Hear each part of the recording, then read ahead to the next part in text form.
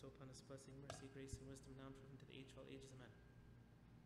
Uh, today is the fourth, or the eve of the fourth Sunday of the blessed month of Ba'ona. Uh, we wish you also a blessed um, Independence Day. Um, uh, we're continuing our theme on the Holy Spirit. Last time we gave an over, or the last few times we have given an overview of who the Holy Spirit is, what He does, um, and we saw last week how He spoke and speaks um, of Himself, and through His speaking through the prophets in the Old Testament, and how He perfects and purifies and anoints and appoints, and how He reveals and comforts and gives life and leads and empowers and fills us and, and so on and so forth. Uh, and this this time now we see okay what um, how do we see him even more clearly uh, if you will in in the new testament especially in the gospels and next week god willing we'll see in the life and the works of uh, the apostles um, and maybe even towards the end we'll also describe some symbols or forms that he takes uh, in the new testament and why he chose uh, those those forms to help us understand himself even more.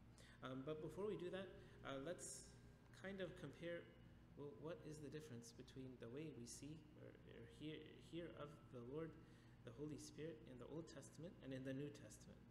Um, as we said last time, in the Old Testament, many people, especially the prophets and patriarchs and uh, the priests, they were granted the blessing and power and the judges of the Holy Spirit but it was a limited time and in a limited way. Um, in contrast to the way in the New Testament, it is a new and permanent internal uh, dwelling of the Holy Spirit inside us. and for those who believe in Christ, we're confident that uh, we're not just uh, like candles giving off light of the Holy Spirit. Um, externally, but he himself dwells inside of us and he has become our habitation. Um, and so, one, one verse that helps clarify this, and we'll get more in detail later, God willing, is in the gospel when the Lord was baptized. Um, God revealed to John the Baptist because he was baptizing and he saw probably the Holy Spirit um, descend upon people uh, of course, the baptism that he gave was different than the baptism of the Lord and the Lord's disciples and what we have today. But God revealed to him, saying, Upon whom you see the Spirit descending and remaining on him. So in the New Testament, the Holy Spirit does not just ascend, but he remains in us in the Christians. and St. Cyril of Alexandria ex- explains this further. He says the Holy Spirit came to be in the prophets for the need sake of prophesying, because they had to prophesy through the Holy Spirit. They had to write the scriptures through the work of the Holy Spirit. But then he says, now the Holy Spirit dwells in us through Christ in believers. Uh, and he continues in another place, the second. Uh, bullet point here. He says, when the divine evangelist says this, and we'll talk about the verse in a second, he, he, let us understand him to mean the full and complete habitation in men of the Holy Spirit. So he refers to the gospel according to St. John chapter 7, and when the Lord um, talks about um, the one who has faith, the Holy Spirit will flow as, as rivers of running water from the person. And then St. John, the evangelist, explains, saying, He spoke this concerning the Spirit. But then he says, Whom those believing in him would receive.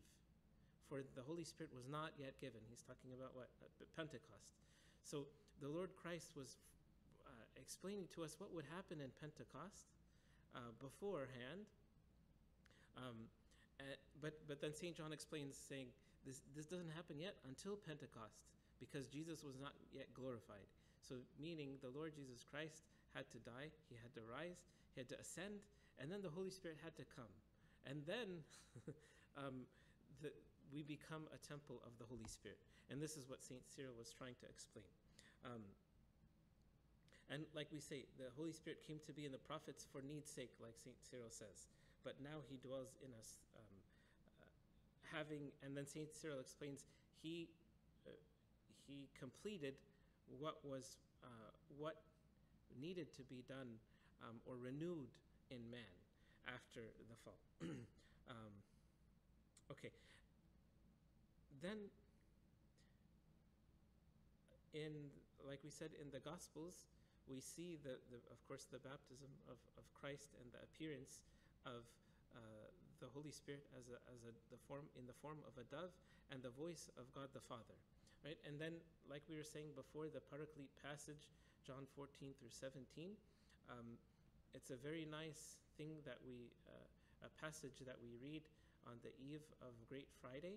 Um, but if anyone has questions or wants to just hear from the voice of the Lord Jesus Christ about the Lord, the Holy Spirit, this would be a nice few chapters uh, to contemplate on. So I just extracted some verses from this, uh, especially chapter 14. because we read from the end of 15 and 16 on the third hour gospel of the Agbeya. Um, and chapter 17 is the prayer in Gethsemane. Um, and chapter 14 and is basically the last discourse that the Lord gives on, on the night of the Last Supper. Um, so uh, the Lord says to his disciples, You know him, for he dwells with you and will be in you. Again, this is from Pentecost, right? And then a few verses later, he says, If anyone loves me, he will keep my word, and my Father will love him, and we will come to him and make our home with him. This is the, the completion of the, the other verse in the Paraclete passage where the Lord says, Abide in me, and I in you. How? Through the work of the Holy Spirit. Um, and, and then he explains even further, saying that he may be with you forever. And that's why the Lord says, I will not leave you orphans, because the Holy Spirit never leaves us. And he is one with the Holy Spirit and one with the Father. Um, very great blessing. The more we contemplate on it, the more joyful we should feel that God is not far from us. Sometimes we, we feel when we get depressed or frustrated or even after we sin. Um, uh, so, this is the difference between having a visitor come in, into your house for a few hours um, and having someone to come and stay with you for years. That's the difference between, or for life. That's the difference between maybe the Holy Spirit coming on, on a person for a period of time in the Old Testament and the Holy Spirit dwelling in the believer who is baptized um, and chrismated um, in the church. this is the ideal uh, relationship. The ideal spiritual life is, is, still filled with ups and downs, but God is with us. Um, it's kind of like um, for lack of a better example, it's like a good marriage it's a, or a good friendship. It has its good days and difficult days, but you're always with each other. You're always living with each other and enjoying life together uh, in, in the spirit of love. Same thing with us and our Heavenly Father. um, so, more specifically, and this is probably maybe the focus of, of the whole series, is what happened on the, the holy day of Pentecost. You can read it in Acts chapter 2. Um, but I just uh, compiled a few references or quotes um, about this glorious feast and how it is so important for us um, personally and ecclesiastically or regarding the church, right? Um, so one author says the Spirit was given on Pentecost for the universal proclamation of the gospel the, the missionary work and the service that we read in the book of Acts couldn't happen until the day of Pentecost. And even when the disciples were sent out, um, when the Lord was still in the in present with his disciples, what ha- yeah, and uh, nice things happened, and they even said even the demons were subject to us, but that service was probably very minuscule compared to what happened uh, after the day of Pentecost. Um, and so the author continues With Pentecost, the church starts on her road of service and witness. We serve and um, we, we proclaim. Um, St. Pentecost is the central point, the beginning for the church. Everything is seen and evaluated in the light of the resurrection and Pentecost, for they are the final events in the history of salvation. So even when we look at the feasts in the church, um, if, like in the liturgy, for example, we, we describe the passion and the, and the death of Christ and his resurrection and ascension into the heavens and, and the Pentecost. And then we fast forward all the way. What's the next great feast or the next great um, event in the church? We, we actually fast forward all of these thousands of years until, until the second coming. because why? Because the link of the second coming and the salvation of man is linked to the resurrection and Pentecost. Um, and everything in between is, is, is a blessing. but there's no great event in terms of man's salvation um, during these days. It has already been completed on, on, with the death and resurrection and ascension of Christ and the Holy Pentecost. And then uh, we're just basically waiting um, until, uh, until the culmination of the story of, of God with mankind, which will happen in the second coming. Um, uh, here's another nice quote. Uh, Father uh, Anthony Coniaris, he wrote, um, Christmas is God with us. Good Friday is God for us because he gave him life, his life for us. But Pentecost is God in us. Uh, I like that uh, very much. So it, God came to be with us when Christ took flesh, and he died on our behalf on Good Friday. But in Pentecost, he's inside. He's inside us. He abides in us, and we in him. Um, also, he writes in, in, in, this book, it's basically a summary of, of the creed. Um, I, I, would encourage you, it's, it's actually a very easy read, and if there's any um, specific uh, question you might have relating to the creed, some of these books are very helpful because uh, they uh, elucidate or they, they explain further in detail why the church specified the exact words that we have in the creed and why we don't change even one, um, one letter. Um, so he, he continues by saying, God so loves us that he gave his only begotten Son that we may have forgiveness and eternal life. But his giving, God's giving, did not stop with his Son. On Pentecost, he went further. He gave us, that might be misunderstood, um, but we could say he went as far as he did on the cross. He gave us the Holy Spirit who would dwell within us to make our bodies temples of God. And this is what we were saying before, and maybe at the last um, uh, discussion we have uh, uh, for this um, series, where we talk about the spiritual life. 1 Corinthians 3 and 6, I think 6 verse 19, talks about how we become temples of the Holy Spirit. Um, and uh, this is again what separates us from the, the righteous and the just and the prophets and the patriarchs of the Old Testament is they didn't have this grace. Uh, they had this Holy Spirit upon them, um, and maybe even sometimes empowering them, like Samson, the, the judge, but not to dwell as a temple, as a sanctuary of the Holy Spirit. Um, uh, again, one, one other author says the Spirit given at Pentecost was more than the spiritual power and grace granted to the apostles, their ordination or consecration.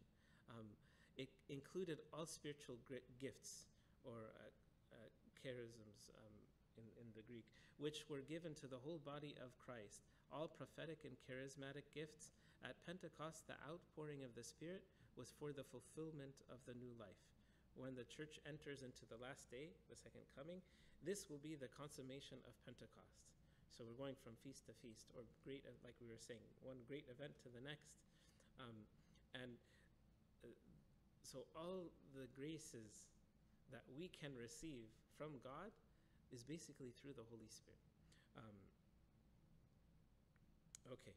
Um, so th- that's just basically a, a summary of uh, the importance of the feast of, of Pentecost. Um, and because today is the Independence Day, um, this verse keeps standing out uh, also in First uh, Corinthians or Second Corinthians, sorry, uh, three, um, where the Lord God says through the, the mouth of Saint Paul, "The Lord is Spirit, and where the Spirit of the Lord is, there is freedom."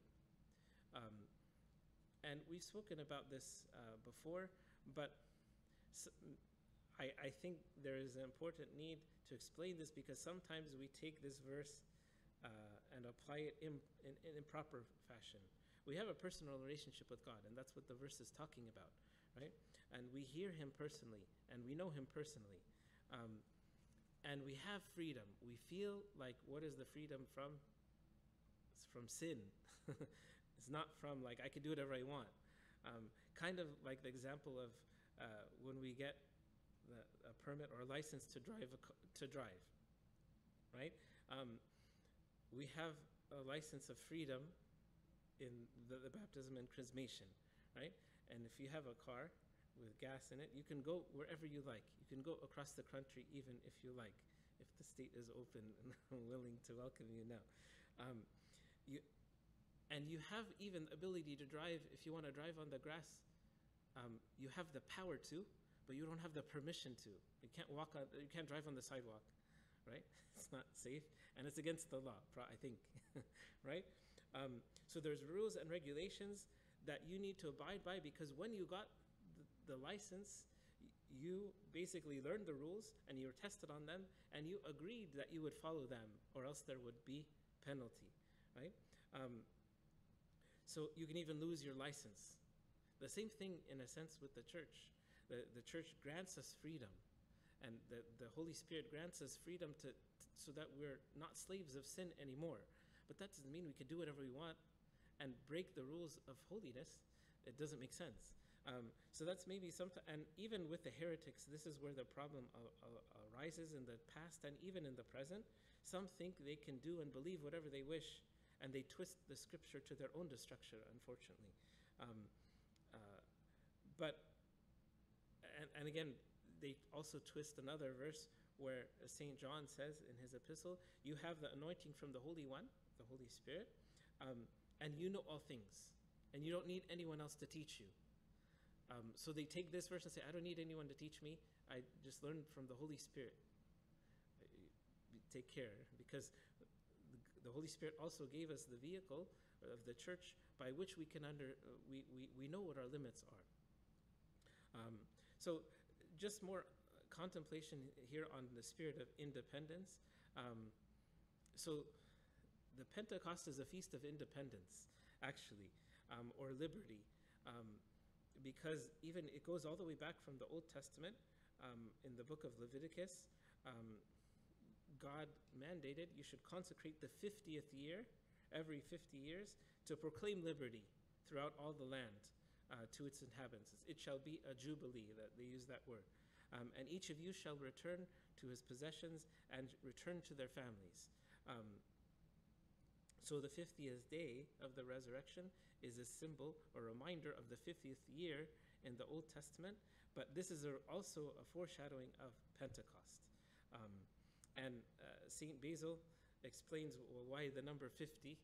So he, he uh, contemplates saying, Remember when the Lord in the gospel said, If, if any, anyone sins against you and seven times, you forgive him seven seven times, well, he said 70 times seven. But St. Basil says we forgive um, uh, seven times seven. So that's the 49, and then plus the day of the resurrection, he says. This is the 50, the 50th day. Um, but the idea here is when we sin, we're burdened. And when we repent and confess and have the Holy Spirit um, uh, cleanse us from sin, He frees us. Um, and oftentimes, you know, uh, sometimes I talk with people, uh, you know, confession when they say, you know, I, I, I'm compelled to lie. And, and then when you say, just tell the truth. sometimes the truth, it frees us because then we don't have to feel like, okay, what did I tell them? I have to keep the story straight or I have to correct myself um, or I can't tell this person everything. Yeah, of course, we, we, we it's, it's okay to have privacy, but um, when we start lying, we feel this burden. Um, but then when all the cards are on the table, there's, there's a freeing um, uh, feeling. Uh, and the same thing when we're freed from sin.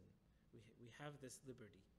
Um, okay, uh, I already mentioned this verse in First John, but uh, here's it's in verse 20, and then in verse 27 of chapter 2, the Lord says, The anointing which you have, the confirmation, or the, the, the um, you do not need that anyone teach you.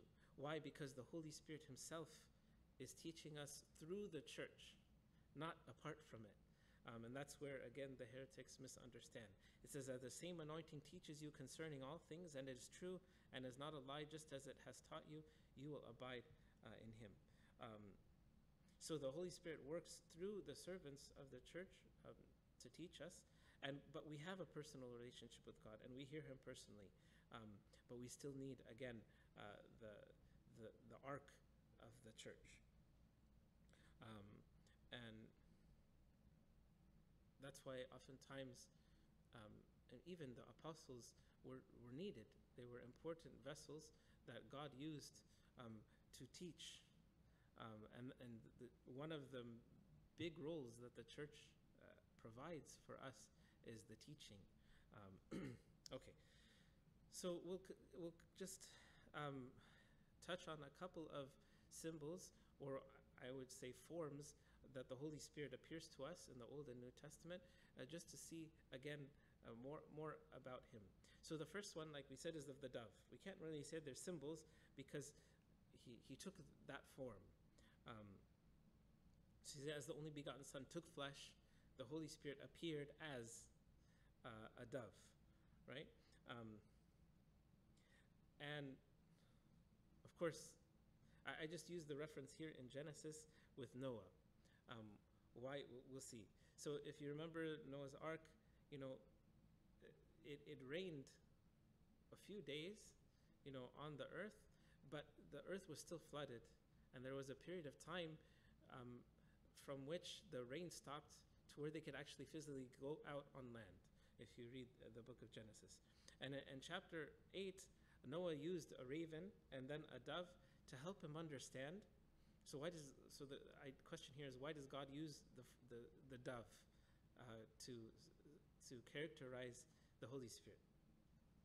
Um, so here one example could be from this story. Um, Noah sent out a dove to see if the waters had receded from the face of the ground, but the dove found no resting place for the sole of her foot, and she returned to the ark to him, for the waters were on the face of the whole earth. So he put out his hand and took her. So if you go into, um, I don't think mariners use this uh, still today, but in the early days, before GPS and all of that, ship the captains of ships needed direction to go towards land, and so they would release doves um, who would rise above the waters, seeking land and flying to it, and so the, the dove would be a guide to, to the, their destination. Um, and so the Holy Spirit, like we were saying in the past weeks, is our guide to get to the kingdom of heaven. Um, and um, similarly, we try to also be like God, to be like doves. so here's kind of like where the symbol is flipped.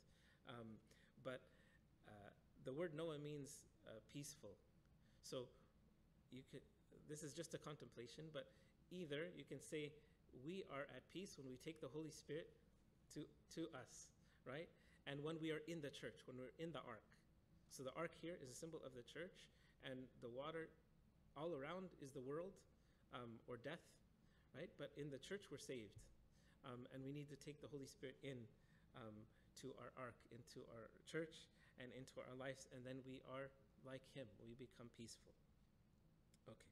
Um, so, uh, how through the the divine guidance and comfort of the Holy Spirit. Um, another form in the, uh, the, Old and New Testament, in the book of Acts, in the Pentecost, before the Holy Spirit appeared like tongues of fire, it said, Suddenly they came from heaven as of a rushing mighty wind. Uh, we explained the, the wind and the breath um, in, in Greek, which is pneuma, the same word for spirit that we use um, in Scripture. Um, but again, um, it's not just a soft wind, or here it's mighty to show that God is mighty, and that's what St. John Chrysostom says. Um, and here to remind us it's like the breath of life that gives us power, that gives us life. Um, and here, St. John Chrysostom also says, notice that it says he fills the whole house. The Holy Spirit fills all of us. Um, and he should fill the entirety of whatever, just like um, you know, if you study chemistry, right, there's solid, liquid, and gas, right? And each one has their properties. But which one of them has the property to fill the entire container, no matter how big the size is?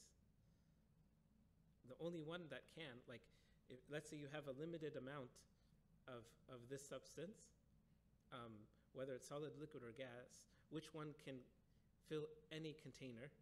It's the gas, right? So the same idea of the wind, right? Because the, the gas can fill the entire space. The Holy Spirit can fill us all. He doesn't just take one corner of our heart or our mind, or we don't put Him in one part of our life. He should consume everything. Um, and He has the power to as well. Okay? Um, the second to last example is we say He appeared as tongues of fire, right? And I, I think I mentioned this before, but here is if you compare Genesis 11 to Acts 2, if you compare the Tower of Babel to um, the day of Pentecost, God did the, the actual opposite. um, why? Because in Babel, they were full of pride and they were trying to unite together to fight against God or to build against God. And God said, No, no, I'm not going to let you do this. Give you different tongues, mess up your communication so you can't succeed against fighting against me, right? Um, in Acts, the complete opposite. You're fighting against each other. I need you to unite so you can be with me. So let's not make language, communication, um, hindrance. Um, so the, the, the words can tear down or they could build. Um, and the Holy Spirit has the power to unite and to help us work together. And that's why, for example, in marriage, the first thing we have to do is to bring the Holy Spirit upon the two so that become one. Um, before you do anything important, before you live together in, in a house, no, you have to get sanctified by the Holy Spirit. Um, uh, anyway, then, and this is what the Lord prayed in the Paraclete prayer in John chapter 17 that they may be one in us. Um, that the world may believe that you sent me. And the glory which you gave me, I have given them, that they may be just one, they, that they may be one just as we are one. I in them, you in me, that they may be perfect in one, and that the world may know that you have sent me. So, the whole prayer of Christ, the last prayer, if you will, um, before the crucifixion, um, was uh, specifically about um, the work of the Holy Spirit and how he, he, God wants us to be one with Him, just like the Father, the Son, and the Holy Spirit are one. Um, and again, you could read this in the Gospel according to St. John, chapter 17. Um, so the last form we say is the fire, or the works of fire, the fireworks, since today is the day of fireworks. Um, we, says, we say that God is a consuming fire, as we read in the Old Testament scripture, and even the New Testament. And in Jeremiah, he says, Is not my word like a fire? Um, God speaking uh, to us. Um, so fire does what? It gives light, it gives warmth, it gives, um, it burns, right? Um, but it also purifies. I think we spoke more in detail about this in the past, so I won't uh, duplicate. But again, in the book of Acts, it says, There appeared to them divided tongues as of fire, and each one sat upon each of them. So this reminds us that God gives grace to all of us, but each one has a different talent. Each one has a different grace. And they were all filled, like we said, like the gas that fills the container. They were all filled with not just the disciples, but all of the 120 of them that were there. Um, and that's why sometimes in the icons uh, of the Pentecost, like you see St. Mary, um, uh, among the rest. Um, not just her, but technically, you can put the 120 people in the icon because they were all filled with the grace of the Holy Spirit. Um, and just like we're all filled on our Pentecost, which is the, the day of our chrismation.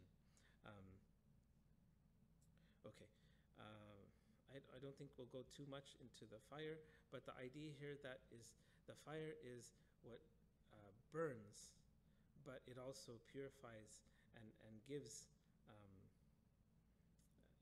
gives a, a certain life or a flame. Um, as you look when we read in the book of Acts, God willing, next week, or what, when you read any any part in the books, and you see the work of the Holy Spirit and the disciples was very powerful.